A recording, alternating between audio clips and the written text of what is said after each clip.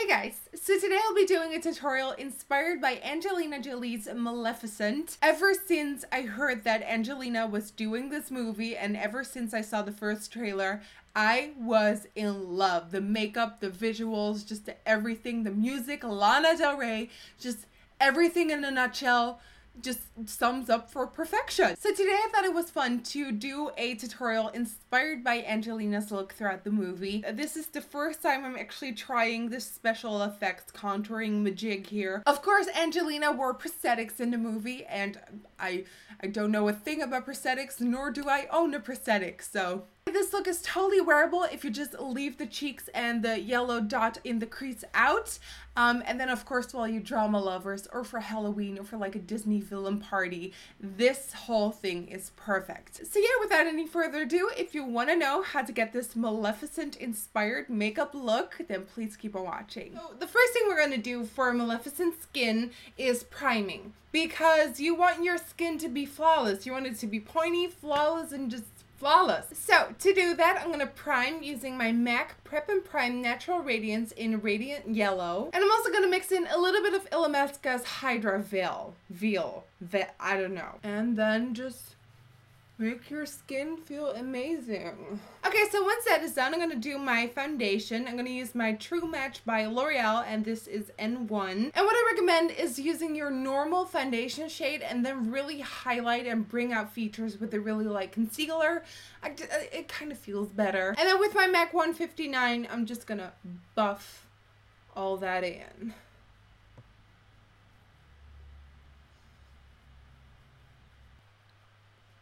So I want to do most of the contouring with powder products, but I am going to give it a little base to work with. So I'm going to take the lightest concealer that I have and kind of map out where I want things to sort of, you know, highlight and bring forward. I'm going to take my MAC Pro Longwear and I'm going to use that under my eyes.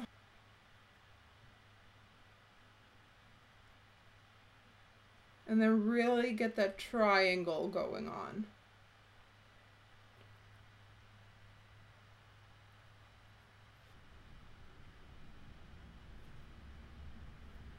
And I'm just gonna buff this mess in using my Real Technique sponge.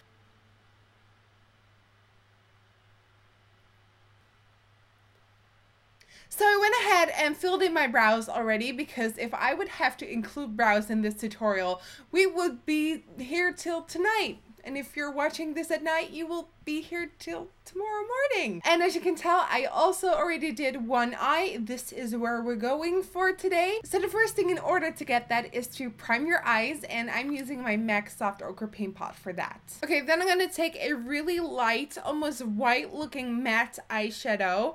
And what I'm going to do with this is pop that onto my lids to really brighten that part up. And definitely want to pack that color on because later on it will really open up the eyes a whole big lot.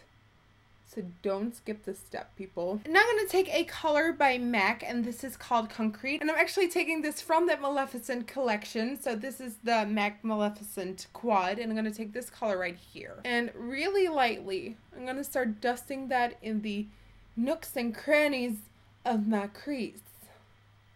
And you really want to build definition and depth in there. So go ahead and dust that in. Then I'm going to wipe that brush off and I'm going to go all the way to the inner part here because Angelina has beautifully deep set eyes and I don't. Now with a more concentrated brush, I'm to take that color again and also take the brown. And the brown is called ground brown. What I'm to do is to connect it to the bottom by making a C shape, a C see it. And then I'm also putting those two shades on my lower lash line.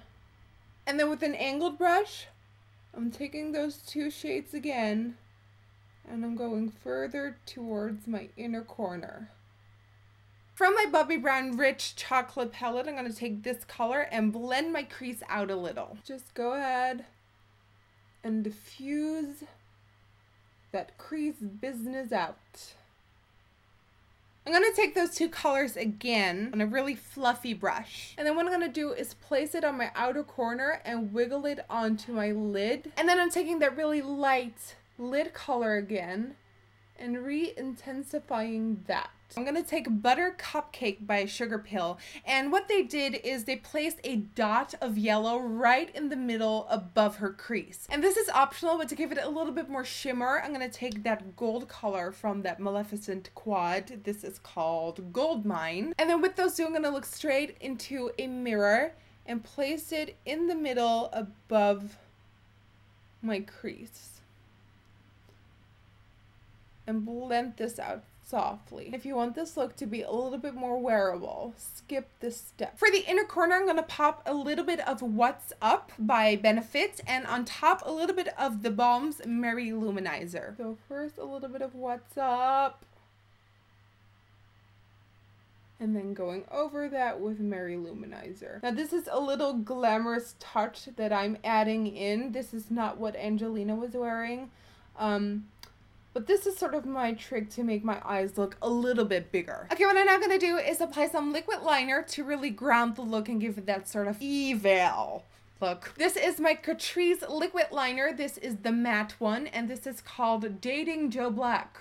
And to give it that evil look, I'm just gonna line my eyes and don't add a wing because I really like this, what's going on here. But I am gonna add this sort of triangle pointy thing on the inner corners and that's what you see a lot with like evil characters that they have that pointy inner corner. So I'm just gonna do that. I'm just gonna do that.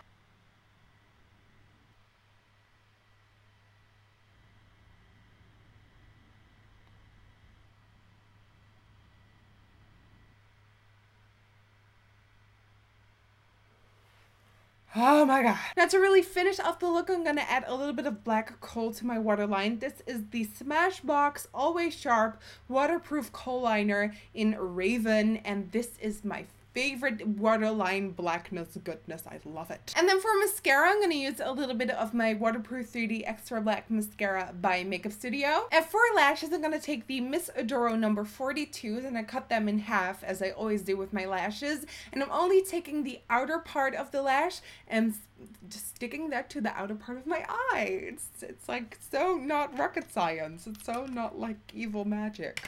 Okay, so once we've got all that, it's time for the cheeks. I'm to start my contouring off using my Illamasqua eyeshadow in Heroin. And firstly, I'm to determine my shape.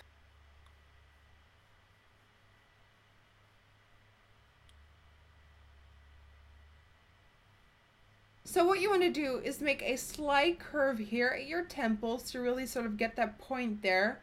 And then from there, follow your natural sort of hollow part and then here curve it in again. And then I'm lightly gonna buff this out down. Don't go up because that's the part that you wanna highlight.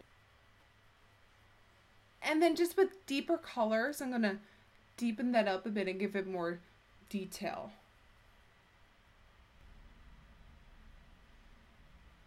And then now with an almost white concealer, I'm starting to highlight. And you really want to get that sort of sharp cheekbone here. So by contrasting that dark color with the light color, you're really bringing it forward and you really make it look as if you have that sort of prosthetic on your face. And of course you want to start blending that highlight out. And what you want to keep in mind is that once you've blended it out, it's less white so you want to go over it again to really give it that impact again. So as I said, going back with that light concealer and just at the edge, you want to give it some more. And then I'm also with that darker color again, following the edges to really sink everything in. I'm sorry if I'm not as informative as I usually am but you must know that this is the first time that I'm actually doing sort of this drastic of a contour to myself. So kind of nerve wracking for me too. Okay, so I've been working on those cheeks for quite a long time now, so I'm gonna let that rest for a bit and go over to lips. And then with lips on, I can kind of see if it all ties in with each other and what needs more and what needs less. So for lips, I'm gonna go with my Ruby Woo lipstick by MAC. This is Ruby Woo. And then for a gloss, I'm gonna take the uh, MAC Maleficent Collection lip gloss in Anthurium. I believe that's what's called. And I'm just gonna pop that onto my lips.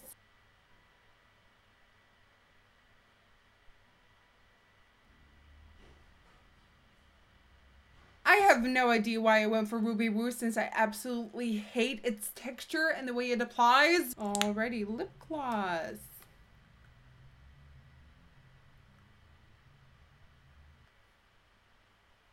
And that, guys, concludes my Maleficent Angelina Jolie inspired makeup tutorial. I hope you guys enjoyed because this was something so new for me. I've never done this type of sort of contouring special effect magic. It's like, oh my god, a whole new world opened up to me. So yeah, I hope you guys enjoyed. For a full list of every single product mentioned and used, go to my website, nikkietutorials.com. You can follow me on Twitter, Instagram, and Facebook. That all is NikkieTutorials. Don't forget to subscribe and like this video if you liked it. Again, thank you guys so much for watching. And question of the video is, who is your favorite Disney villain? Mine Maleficent. Thank you guys so much for watching and hopefully I will see you guys next time. Bye guys!